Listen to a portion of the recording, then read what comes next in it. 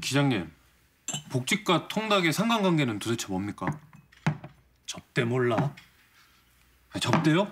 이게요? 아 그리고 왜요?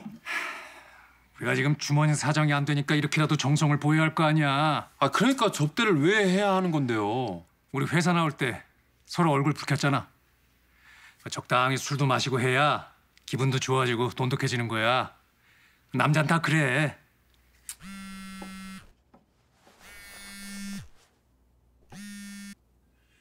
어, 어디야? 어, 내가 좀 바쁘니까 이따 전화할게. 어딘데? 복직할 것 같아. 기다려봐. 잠깐만. 왜?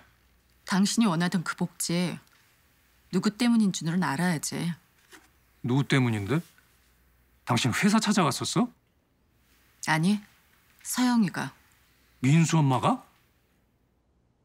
나도 자세한 건 몰라. 직접 듣던지. 사모님께서 어쨌는데요? 어, 아니야. 저 신경 쓰지 마.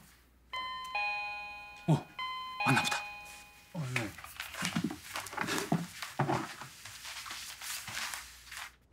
전무님 오셨. 네가 여기 어쩐 일이야? 그게 어쩐 일로 오셨어요? 어, 잠깐 이리 들어와봐.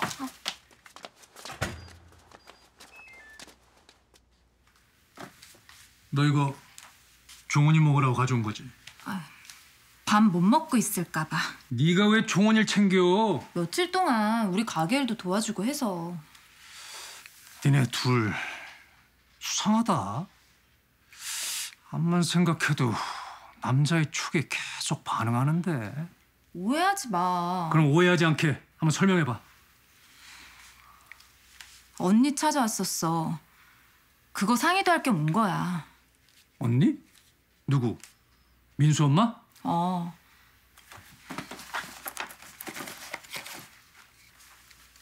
이거 가져왔어. 이게 뭔데? 항공사 노조 사찰했던 영상. 뭐?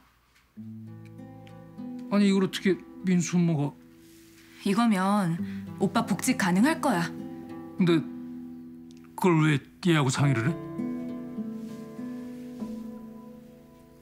말을 해봐.